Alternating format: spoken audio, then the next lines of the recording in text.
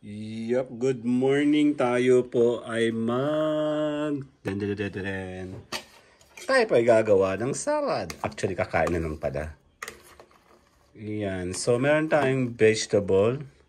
May lettuce, may grapes, may mango, may apple, may carrot, and etc. etc. etc. Madami palang lahok to eh. Pang mayaman. Then, syempre, may kipay tayo. Hindi. Ewan ko anong pronounce nito. Ran, ito pa yung dressing and syempre meron tayong honey mustard. And then, Caesar. So, bahala na gang, ba? Check natin. Kain tayo. Dan, dan, dan, dan. Mahirap mag-vlog ng iisa ang kamay. Dan, dan, dan, dan. Syempre, kuha tayo ng konti. Lagyan natin dito. Kain tayo, mga be. Stay healthy living. Yan.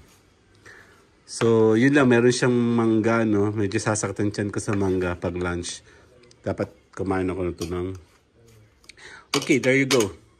So, tara. Kain tayo ng... Mag-sauce tayo ng kipay. Pekena men! Sino to? Ano to? Roasted sesame at chuchuchu. Let's go. Ano ba? Hindi ko buksan. Dan dan dan. Pinaa. dan dan dan dan. Oops, konti-konti lang. Huwag masyadong ano, OA, mga be. Okay. And then, I love mustard. So, ikot lang. Paikot-ikot lang. Then, chuk chuk chuk. Ayan, meron siyang special effect. Dun, dun, dun, dun. Parang tae. Joke.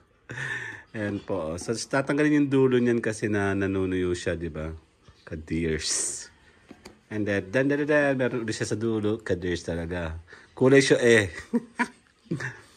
And then, syempre, yung pinakamasaya dyan, dagdagan mo na, ano ito, Ladies Choice, Bigyan naman, Caesar. Check natin kung mabubuksan isang kamay. Den, den, den. Kain tayo ng konti lemon. Huwag masyado madami. Ayan.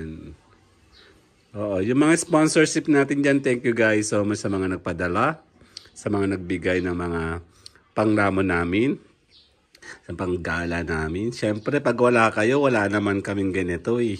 Saan ba kami kukuha? Eh di siyempre sa inyo, di ba mga besh? Yan, kain tayo. Yan na, medyo almost prepared, almost finished. Quick tutorial how to eat salad at chuchuchu. Let's go. Den, den, den. Kain tayo mga besh! Yan, hindi ko pa rin sisipin mga aso ko. So, salamat sa inyo. Bye-bye na!